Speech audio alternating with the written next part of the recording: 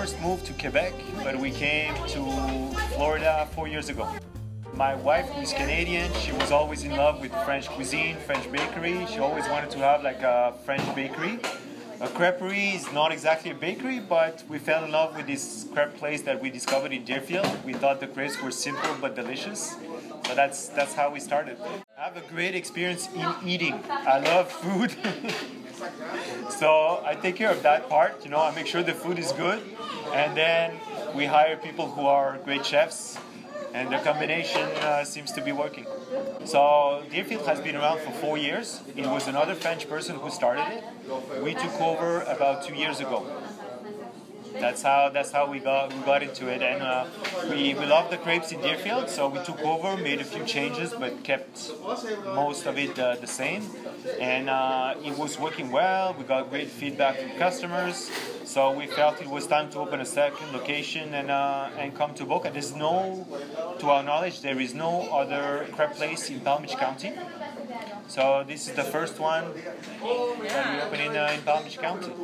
The menu is built over time, so we started with the with the classics, you know, uh, Nutella crepes for dessert, the chicken and veggie crepes, savory crepes, steak, etc. And then we build up.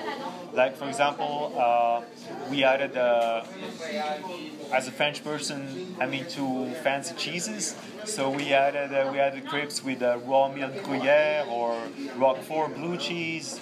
So little by little, we try new crepes when customers love them, we add them to the regular menu. The last addition is the seafood crepe. So it's with the bechamel sauce, shrimp, crab, asparagus. So little by little we, we add to the menu like that. Of course, for dessert, as a French person, I, I like the cassonade crepes. They both they're both sweet and salty. The most popular dessert crepe is the Bad Girl.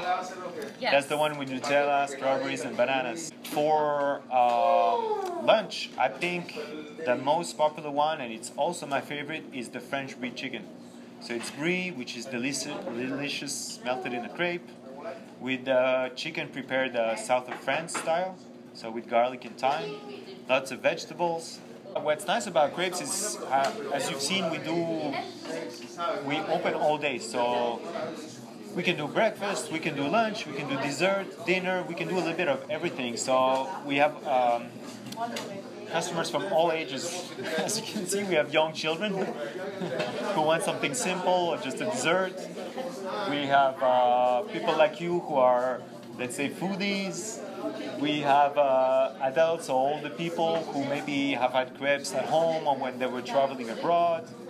So there were, there's people who come because it reminds them of Paris, or people who come just because they like good food or they want to try something new, or people who come just because they want an original dessert.